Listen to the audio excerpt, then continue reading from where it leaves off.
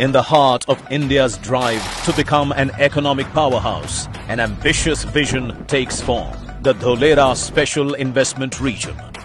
Sprawling across 920 square kilometers in Gujarat, this isn't just another industrial park. It's a strategically located, meticulously planned city for the future. From the outset, world-class infrastructure and utilities have been pre-built with cutting-edge planning designed to meet growing demands.